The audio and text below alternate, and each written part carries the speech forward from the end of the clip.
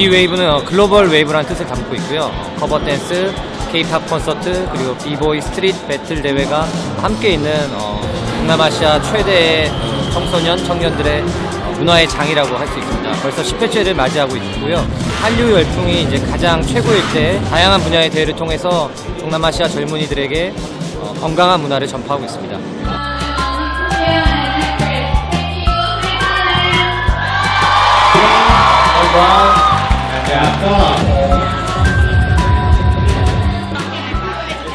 뱅뱅뱅 ครับ 뱅뱅뱅 บางท่านโตโยต้าในบูชาอุรเนะอีก ก็เป็นอารินค่ะ เต้นเพลงไลเออร์ไลเออร์ของ Oh My Girl ค่ะ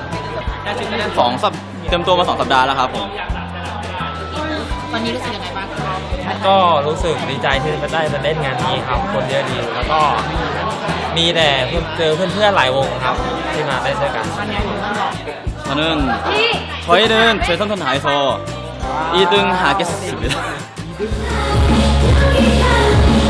K-팝은 어, 불과 몇 년 전만 해도 하나의 어떤 열풍, 뭐 소수의 친구들이 이제 좋아하는 어떤 그런 뭐 트렌디한 어떤 이- 새로운 문화였다고 생각하면요. 지금 요즘 시대는 또 한 K-팝 3기, 4기로 넘어서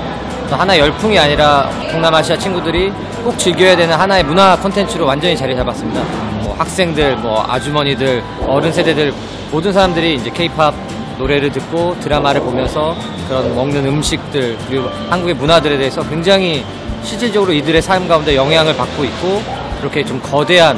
어, 문화의 일종으로 지금 자리 잡고 있습니다. ก็สำหรับโกก็คิดว่ามันเป็นงานอดิเรกนะครับ เพราะว่าจริง ๆ แล้วตอนนี้มันก็เหมือนกับกระแส เพราะตอนนี้ เกาหลีกระแสเคป๊อปเนี่ยกำลังมาครับ มันก็คล้ายๆกันกับที่เมื่อก่อนจะเป็น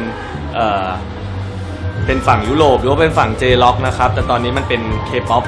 เด็กไทยก็เลยหันมาเต้นนะครับ แล้วก็เป็นงานอดิเรกที่ทุกคนคิดว่าน่าจะทำแล้วไม่เอาไม่เอาเวลาเราเวลาที่มีเนี่ยไปเสียกับเรื่องที่มันไม่ดีนะครับ พวกเรื่องยาเสพติดหรือว่าการมั่วสุมสิ่งอื่นๆครับ องเนี่ยเป็นคนเป็นคนชอบศิลปินเกาหลีอยู่แล้วก็แบบปลื้มชื่นชอบอะไรอย่างเงี้ยค่ะ แล้วก็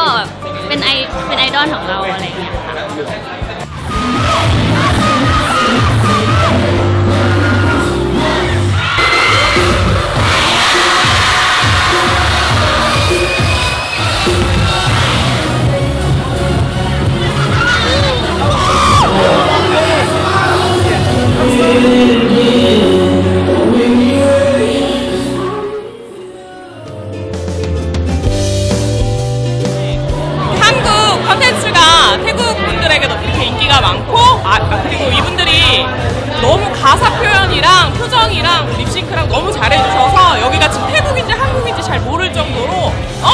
잘 봤습니다. 태국 친구들이 이렇게 케이팝을 좋아하고 즐기는 집 처음 이제 이렇게 실- 현장에서 봤는데요. 너무 감동적이었고 또